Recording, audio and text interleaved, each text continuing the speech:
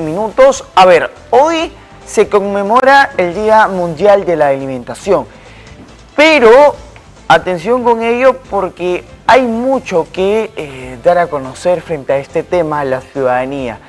Más aún porque nos encontramos en una inseguridad alimentaria en todo el territorio peruano y a nivel nacional. ¿Cuáles son los lugares más afectados con esta situación? También la libertad, qué zonas están, digamos, un poco, eh, no se le está dando importancia a este tema importante. Ya nos encontramos aquí en los estudios centrales con eh, la docente universitaria, nutricionista también, Victoria Ramos. Victoria, ¿cómo estás? Muy buenos días, bienvenidos al TV Noticias. ¿Qué tal? Buenos días, gracias por la invitación y por estar aquí hablando de un tema realmente que es muy importante, ¿no? Efectivamente, Victoria. Eh, empezaba esta entrevista mencionándole a la población, a la teleaudiencia, que no hay nada que festejar, no hay nada que, digamos, eh, sabiendo de que hay muchas brechas por cubrir frente a, este, a esta inseguridad alimentaria. Sí, es cierto, muy bien, realmente como todos los años, desde el año 1979, se da este paso a, esto, a este tema de lo que es la importancia de la alimentación y nutrición. Por eso que la FAO Sí, desde ese año en adelante viene conmemorando este día como el Día Mundial de la Alimentación con diferentes lemas. El lema de este año tenemos eh, que el agua es vida, el agua nutre, no dejar a nadie atrás. Sí, se refiere netamente a no dejar a nadie atrás, refiriéndose de manera específica a la población vulnerable, mm. como niños, mujeres, adultos mayores o población que en este caso este, no puede gozar de servicios importantes y sobre todo de una seguridad alimentaria plena. Ok, hablamos de estos dos términos, Inseguridad alimentaria, ¿no? Esto sucede en el, Perú. ¿Qué zonas son las más vulnerables? Muy bien, la inseguridad alimentaria realmente es una problemática la cual este, eh, es preocupante. ¿Por qué? Porque tenemos casi más del 50% de personas que no tienen esa facilidad de poder gozar de una alimentación de calidad. ¿La mitad de la población? Sí, casi la mitad de la población. Y es preocupante, ¿verdad? ¿Por qué? Porque en realidad vemos qué está pasando, porque estas personas no pueden tener una calidad de alimentación. Cuando nos referimos de que las personas, toda persona tiene derecho a la alimentación, eso es bueno, pero no solamente tiene derecho a poder comer, sino a poder tener una alimentación de calidad. Saludable. Que sea inocua y que de alguna manera le garantice salud. Si eso no hay, estamos hablando de que la persona pues tiene el problema de inseguridad alimentaria. ¿Qué regiones son las más Muy bien, las regiones que realmente son más afectadas, estamos hablando de las regiones en las cuales este, son zonas rurales, ¿no?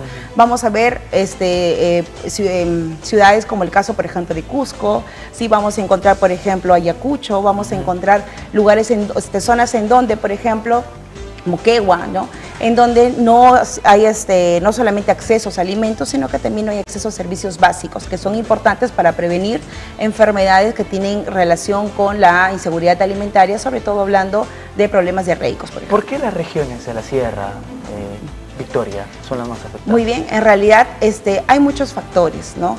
Dentro de ellos, por ejemplo, están los inaccesos, ¿no? Ah. Los inaccesos a servicios básicos. Hay escasez de servicios, a servicios como el caso de agua, que es esencial, no solamente para las actividades constantes que una persona tiene, sino porque también son importantes para poder, por ejemplo, hacer la preparación de alimentos, ¿no?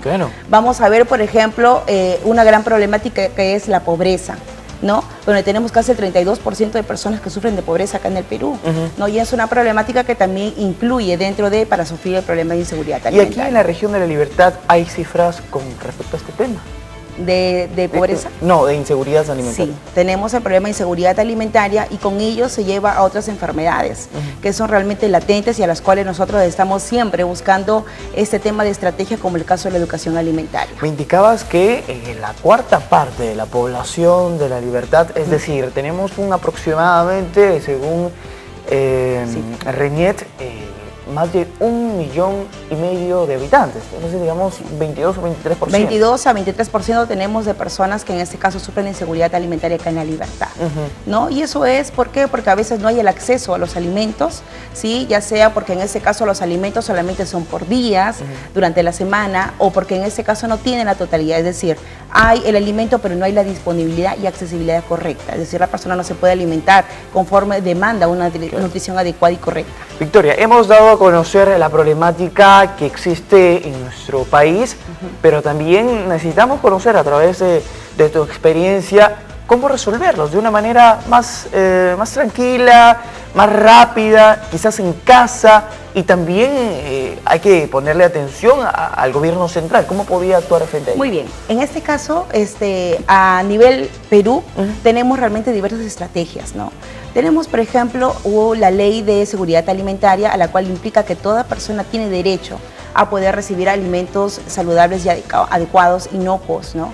Y dentro de ello está, por ejemplo, el establecer realmente alianzas, no solamente con el sector agricultura, ¿no? Sino con todos los sectores en el cual incluye salud y educación, de modo que todas las personas no solamente sepan que tienen que acceder, sino cómo debe ser ese tipo de alimentos, ¿no?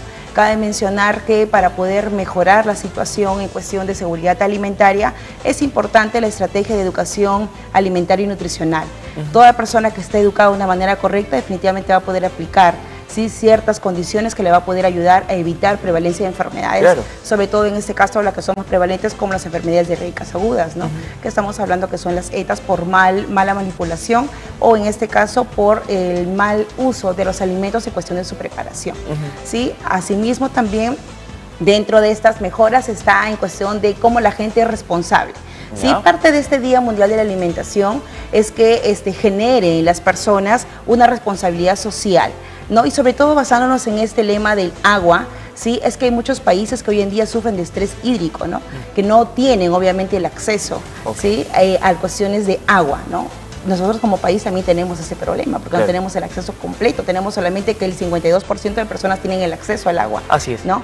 Y en este caso, este, es importante, por ejemplo, hacer de responsabilidad a las personas, es decir, en casa, que cómo deberíamos nosotros tener bastante este, cuidado y atención, es primero cuidando responsablemente el agua, el uso responsable del agua, ya sea para la preparación, sea para las demás actividades del día. También es importante poder saber en cuestión del uso adecuado de alimentos, es decir, el uso responsable en cuestión de las cantidades que yo en este caso preparo. Eh, es decir, las compras responsables, porque si nosotros compramos alimentos y de ahí vamos a desechar, estamos eliminando alimentos que son necesarios y que otras personas sí lo requieren, ¿no? Entonces, el uso responsable de las compras que nosotros tenemos en el hogar. ¿no? Y obviamente en este caso concientizar desde más pequeños a los más adultos en cuestión de nuestra responsabilidad, en cuestión de poder ayudar a mejorar cuestiones de este, el consumo responsable de agua, el consumo el consumo de compra responsable en cuestión de alimentos y el de educarnos constantemente en cuestión de alimentación. Sin duda, ¿no? Que lo más práctico y lo más eh, fácil es cuidar el agua, desde ahí se empieza. Sí. Sí, desde ahí se empieza en realidad y por eso este año el lema es así, ¿no? Es el cuidado del agua nutre, dice el agua es vida. No puede haber este, salud en un lugar donde, donde se escasea, obviamente, el agua, que es esencial y vital. el tiempo nos ha quedado muy corto, ¿no? Sabiendo que es un programa en vivo, hay pautas que cumplir, pero sin duda agradecerte por exponer la problemática que existe. No hay nada que festejar, amigos evidentes, en el país la mitad de la población eh, padece eh, de, esta, de esta forma, ¿no? de esta situación que eh, el gobierno central podría poner un poco más énfasis en torno a este problema. Y nosotros, ¿no? como ciudadanos desde casa, Victoria, muchísimas gracias por estar No, gracias a ustedes. Y bueno, en este caso nuevamente volver a, a poder concientizarnos sobre este día que en realidad pues este, para nosotros sea un momento de responsabilidad y sobre todo de saber que de nosotros depende también mucho el cuidado de la salud. Correcto. Victoria Ramos, nutricionista y docente universitaria.